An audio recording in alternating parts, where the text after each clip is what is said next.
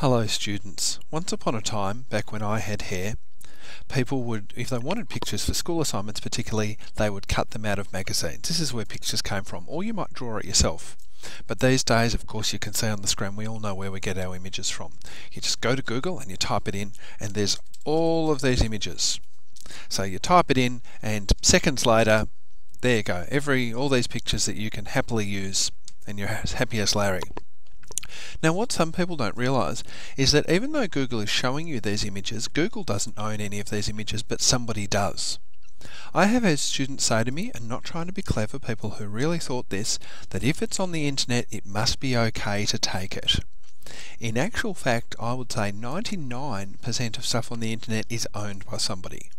It would be like saying if something's put on a poster, it's okay to take it, and it's just not the case. All kinds of stuff is displayed publicly, but it still belongs to somebody. You know, this, this Star Wars picture here, somebody was paid to design that. Oh, actually, that one's myfreewallpapers.net, and that one they might not have. That might have been made by some enthusiast. But most stuff is owned by somebody. And, you know, they've got the commercial right to use it, and in fact, they've got the legal right. So if you want to use somebody's image, you can't you can of course just go and swipe those images, but I guess the point I'm making is A, you shouldn't morally, and B, you actually don't have a legal right to do it. It does belong to somebody else.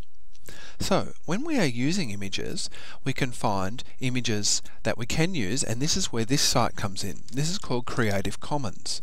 Now, what these people have done is come up with basically a label you can put on your images saying, it's okay for people to use my stuff. You can only apply this to your own stuff. I can't look at your artwork and say, oh, I'm going to put this license on you. It's something that the creator has to choose to do. So you can share it and you can share it on certain conditions. You can say people can use this but they can't make money out of it or people can use it and they can make money out of it. And if you look through this site there's heaps and heaps and heaps of information there.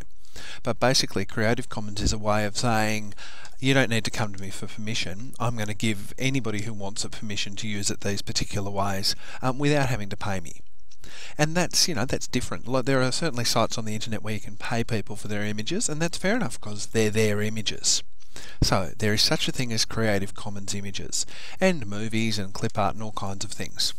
So I'm going to give you a quick step through how you'd find some of this. You can, in fact, use Google Images Advanced Search, which is on the screen in front of you now.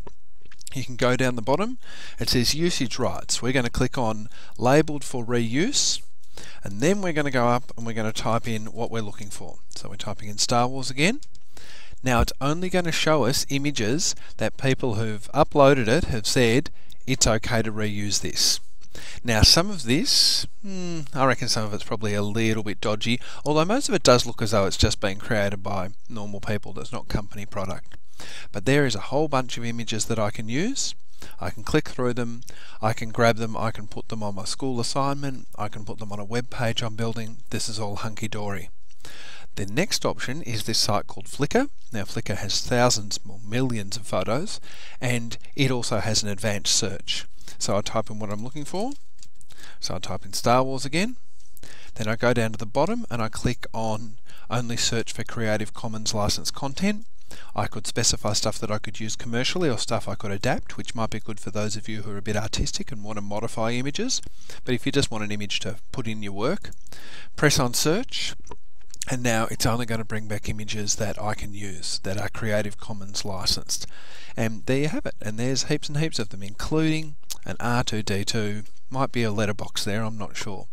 So, if you're looking for images, do the right thing. Don't pinch other people's stuff. Find images that people are happy for you to use. There's tens of thousands, well, probably millions of images out there now. So, that's how you can do the right thing. And that's the end of this mini lesson.